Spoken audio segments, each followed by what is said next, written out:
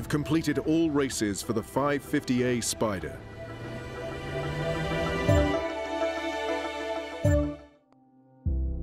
Your next race will be at Watkins Glen, featuring the largest weekend sporting event in New York.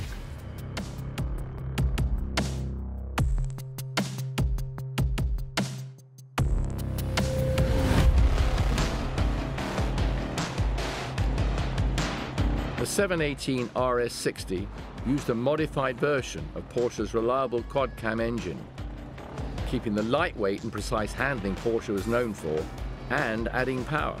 It would regularly beat cars with twice the displacement, taking Porsche's first North American race win at the 12 Hours of Sebring.